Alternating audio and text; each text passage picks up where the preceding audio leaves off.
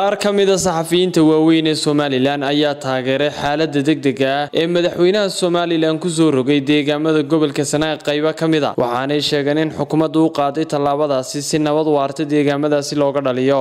Saxafiyiintan oo kale ah xuseen ow jaamac jibriil xagar cabdilaahi wayab iyo abiib iimaan xasan waxaanay fariin u direen cid kastaoo ka soo horjeeda nabadaynta deegaamadaasi iyagoo fariin dhiirigelinana u diray cid kasta oo taageertay nabadaynta deegaamadaasi hargeysa shir jaraa'id ku qabtay ayaa waxaa hadaladoodii ka mid ahaa. Dhowaan waxaa la dilay laba sarkaal oo ka tirsan ciidamada somalilan kuwaas oo astaan u ahaa ummadda oo dhan iyo qaranka. Dadkii dilayna ciidamada ayaa ku howlan waxaanu haddaanu saxaafadanahay taageeraynaa fal kasta iyo tallaabo kasta oo amniga qaranka somalilan lagu xasilinayo oo ay ciidamada iyo xukuumadduba go'aamiyaan. Waxaanu shacabkana ku baraarujinaynaa in ay isgarab taagaan. Cid kasta oo nabadgelyada xasiloonida horumarka sharafta iyo jiritaanka somalilan ka shaqeynaysa waxaa madaxweynuhu soo saaray go'aan uu bandoo ku soo rogay ama xukun deg dega saddex magaalo oo ka tirsan gobolka sanaag siyaabo kala gedisan bay dadku u turjunteen. Si khaldan in wax laydinku sheega maaha dad caqli leh ayaynu nahay.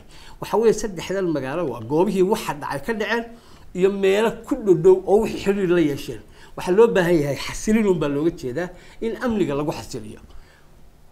Golayaasha xeerdejinta ama baarlamaanka somalilan marka laysu geeyo wakiilada iyo guurtida waxaanu iyagana ku guwaabinaynaa fadhigooda berito in ay dowladda ku taageeraan sidii loo hirgelin lahaa xasilinta nabadgelyada dalka. Ee aanay ka hor iman oo fawdo dhexdooda laga shaqaysan. Mujtamaca waxaan dhalinyarada gaar ahaan ardayda dhalinyarada mutacalimka waxaan weydiisanaynaa inay ra'yigooda caynkaasa soo bandhigaan. Oo ay ku soo bandhigaan mediaha oo ay isticmaalaan social mediaha oo ay mawduucan aanu ka hadlayno bal ku dhiskaskareeyaan oo ku wadaagaan facebooka oo ay tifiyada kala siiyaan aragtidooda ku saabsan amuurta iyada. Ah baynu leenahay dhaqankeeni inaan ilaalino iyo dadnimadeennii iyo waxaynu lahaan jirnay saynu lahaan jirnay meel mayd yaallo dee laguma dabaaldego oo cid eedda hebel baa waxaan lahaa ka horta de tacse baa taalla arrinkaas horta in laga hadlo la daweeyo in laga shaqeeyo mooyaane ma banaana in laga shaqeeyo balaayo kale iyo fidno kale in la abuuro. Waxaan markaa anigu leeyahay war wixii dhaqankeenu ahaa iyo saynuu dhaqmi jirnay aan dib ugu noqono oo aynu is eegno oo somaliland maanta waxa weeyi cadow badan bay leedahay fara badan baa ku jira. Waxaynu u baahannahay dhalinyaro waayeel odayaal iyo haweenba inaynu horta garanno danteena maxaa inoo dana? Maanta marka ciidankii qaranka la laayo ee la dilo ee weliba si xun loo dilo sow maaha markaasi in looma jeedo muuse iyo wax kale waxa weeye qarankii somaliland baa loo jeeda muuse barruus ka tegaya. Ciddii muuse haysatay adan muuse barri buu tegay.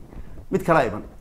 Ka maanta doonay inaad berri fuusho markaad maanta wax kale ku hadasheed biibaa kala shee ka sheekayso iyo ina kaahin baa ka dambeeyey jaac baa ka dambeeyey.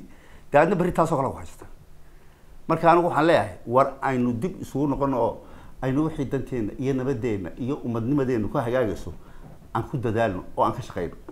Madaxweynaha jamhuuriyadda somalilan muuse biixi cabdi waxaa la sheegay inuu mid ka mid a axsaabta qaranka telefoon kula hadlay uu leeyahay markaa xaaladda xaaladaasaa jirta saasay waxu jiraan. Waxay ahayd dhawaaq tala wadaag u muuqday tala wadaagii iyo iyo istixgelintii canaan baaba loo bedelay oo la yidhi mataqaanaa odayga dalka miyaanu kala talinaa miyuu dheg iyo dhaban ku soo dhufta oo waxa iyo waxaas iyo waxaas sameeyo? Maanta haddii iyadoo dhiig u yaallo ay xukuumaddii iyo madaxweynaheedii aynu inagu codkeena ku soo sarray ee aynu dooranay ay go'aan qaateen oo la leeyahay dadka gacan ku-dhiiglayaasha ha la soo qabto oo la leeyahay amnigii ha la xasiliyo oo la leeyahay wixii qarannimada somaliland wax u dhimaya mataqaanaa tallaabo adag ha laga qaado ma waxay noqotay iyaduna mid laysku canaanto. Sawtii shalay ahayd odayga dalka miyaanu la xukunaa maanta sidee loola xukumaa? Markaa oo la yidhahdaa waxa weeye maxaa sidaa loo yeelaya gobol gobol ka maarmaa ma jiro. Degmo degmo ka maarataa ma jirto. Tuulo tuulo ka maarataa ma jirto. Milowicaddo ilaa iyo qow waxa weeye gaariga aad shanta subaxnimo ka haysato. Shanta subaxnimo dambe intaad marayso waxaa laga yaaba dariiqa inaad ku aragto qof geeli jira oo istaagu ku yidhaa. Deetna xabad sigaar ii buu ku weydiinaya waa nasiib aynu dheerahay dhulka soomaalidu ay ku nooshahay oo dhan. Waa nabadgelyo aynu dheerahay dhulka soomaalidu ay ku nooshahay oo dhan. Waa qiimo aynu dheerahay soomaalida oo dhan. Intaasi oo je- waxa dad aan jeclayn baa jira dad aan ku faraxsanayn baa jira dad aan raalli ka ahayn baa jira. Qaar inaga ka mid ah ayay soo dhex marayaan. Qaar inaga ka mid ah ayay fariintoodu ka imanaysaa. Waxaan soo jeedinaynaa haddii aanu nahay oday- odayaashii warbaahinta raqba waa ku eh, waa ku rageede. Eh, waqti ramadaan baa inagu soo socdo oo waqti fadli badan. Eh, waqti adag baa inagu soo socdo oo loo baahan yahay cibaadadii iyo dhaqankii wanaagsanaa iyo noloshii. Ummadda somalilan ha ogaato qofka ibni aadamkaa dhiiggiisu inuu xaaraan yahay. Sida qofka bini aadamkaa ilaahay u karaameeyey ha ogaato. Inta wax ka maqan yihiin ha xakamayso oo iyaguna salka ha dhigaan. Inta wax ku maqan yihiin ha ogaadeen in xagga ilaahay iyo xagga ummadda dhexdeedaba ay dembi faraha kula jiraan